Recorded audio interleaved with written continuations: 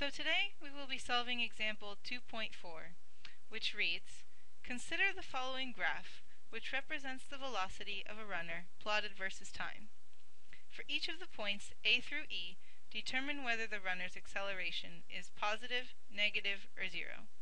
So first, we will plot out the graph with the five points.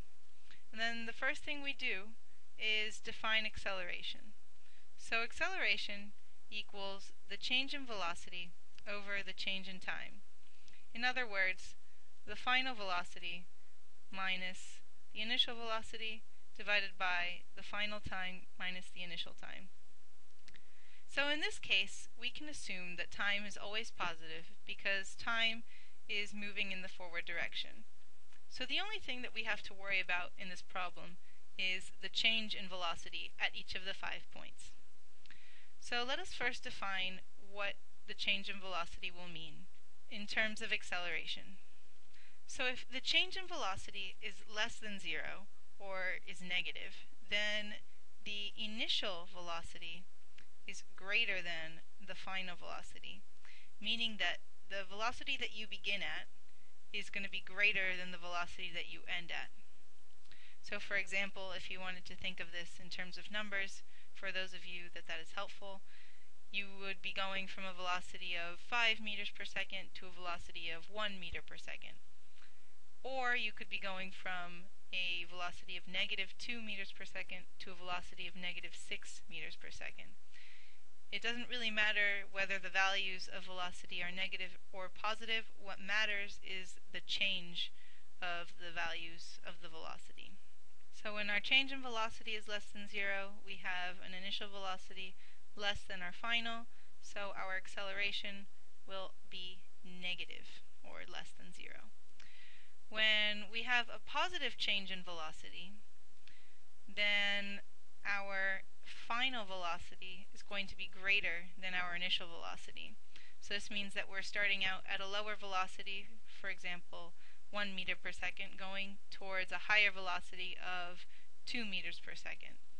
Or we could likewise say that we're going from a velocity of negative 4 meters per second to a velocity of 0 meters per second. Either way, again, the numbers don't really matter. What matters is the overall change in velocity when we want to consider acceleration. So when we have a positive change in velocity, our acceleration will be positive. And finally, when our change in velocity equals 0, our final velocity equals our initial velocity. And this means that the velocity is not changing, meaning we're going from a velocity of 5 meters per second to a velocity of 5 meters per second within the same time frame. So in this case, the acceleration equals 0. Note that this doesn't mean that an individual value of velocity is either greater, greater, less than, or equal to zero. It means that the overall change in velocity is what we're interested in, whether it be less than, equal to, or greater than zero.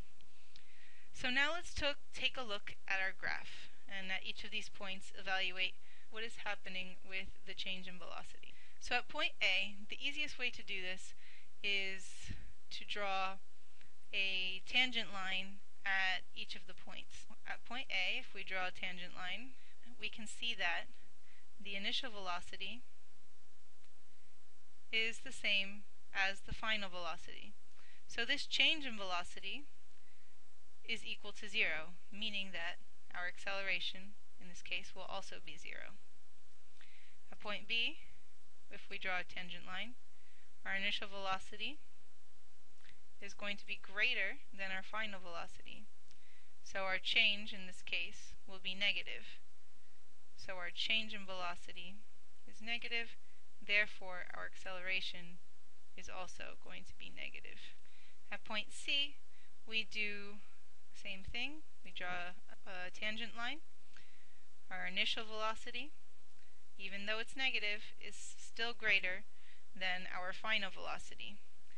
So our overall change in velocity is less than zero, therefore our acceleration is also negative or less than zero.